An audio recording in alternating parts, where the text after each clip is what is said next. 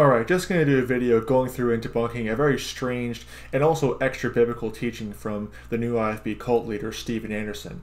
In this clip I'm going to show, he is essentially saying that Adam had a belly button. And it's a very weird extra biblical teaching on Adam's creation when you consider the fact that Adam was not born from the womb, he was created from the dust of the ground. I'll be showing the scriptures on that. Okay, let's go to the Word of God. You see, this extra biblical teaching, Anderson quotes no scripture whatsoever. But I'm going to go to the Word of God and show you why Anderson is wrong. Then show you the clip. So, like I said, Adam was born from the dust of the ground. What say the scriptures? Genesis 2 7.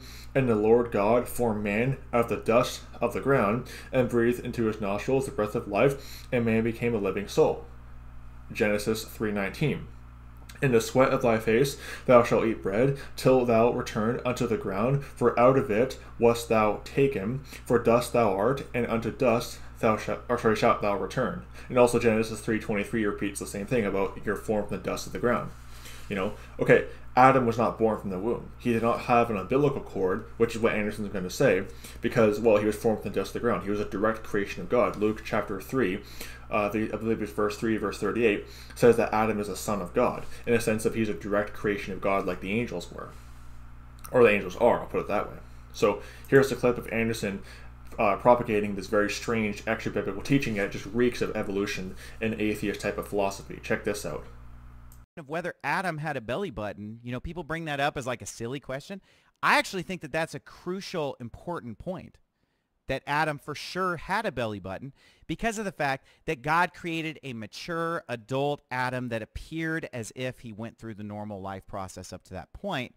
Now he had an uh, uh he had a, a belly button that's basically evidence for an umbilical cord that was never attached because he never actually had an umbilical cord attached there, but yet he has the belly button. So he looks like he went through the process. Do you see what I'm saying?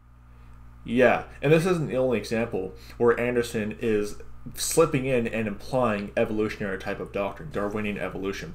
I've shown in other videos him essentially denying and trashing on young earth creationism and also trashing on people who believe in young earth creationism and also implying that the universe has a 14 billion year old backstory which is just darwinian you know evolution big bang atheist type of philosophy so it seems a new IFB. I mean, the new IFB is already a compilation of false doctrines and heresies, but now they're just slipping into full on atheism and just, you know, full on stuff. Essentially, the stuff I got out of. You know, before God saved me, I was a lost, hellbound atheist. I was a secular atheist and became a religious atheist when I joined the new IFB. Then, of course, God saved me, and so yeah, I'm a former atheist, and Anderson is propagating what the, the same kind of sci-fi false religion that I that God saved me out of, plain and simple.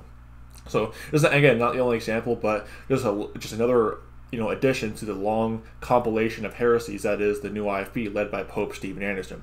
So don't be deceived by the new IFB cult. May the grace of our Lord Jesus Christ be with all the brethren. Goodbye.